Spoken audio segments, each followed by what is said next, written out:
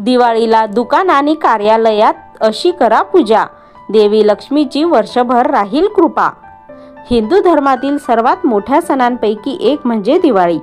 पाच दिवसांच्या दिवाळी सणाला हिंदू धर्मात खूप महत्त्व आहे.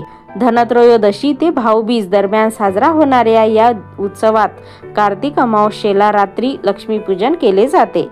मान्यतेनुसार या दिवशी मध्यरात्री देवी लक्ष्मीचे आगमन होते असे ब्रह्मपुराणात म्हटले आहे.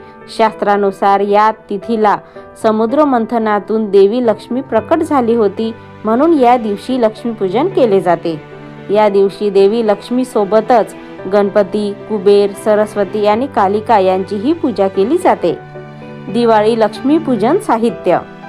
कुंकू अष्टगंध अक्षत पंचरंगी धागा दुर्वा कापूर सुपारी पंचामृत पूजापद लाल वस्त्र चंदन लक्ष्मी गणेशाची मूर्ती किंवा फोटो.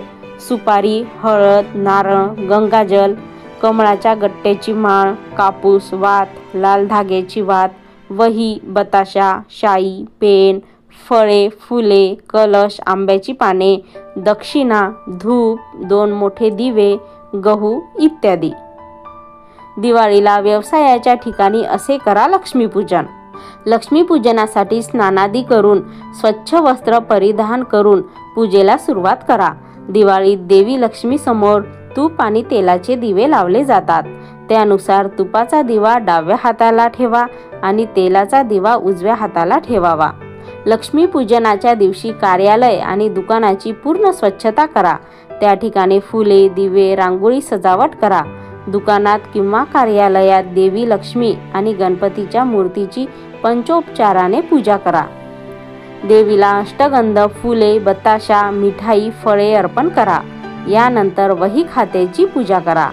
वही खात्यावर कुंकुवाने स्वस्तिक आणि शुभ लाभचे चिन्ह बनवा आणि अक्षद आणि फुले अर्पण करा.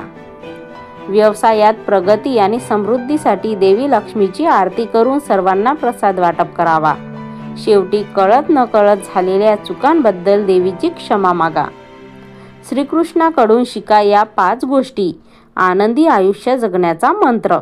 जाणून घेण्यासाठी या व्हिडिओवर क्लिक करा. मंडळी तुम्हाला हा व्हिडिओ जर आवडला असेल तर लाईक शेअर आणि कमेंट्स नक्की करा. असेच माहितीपूर्ण व्हिडिओ पाहण्यासाठी आपल्या लोकप्रिय टू के क्रिएशन चॅनलला सबस्क्राईब करा. धन्यवाद.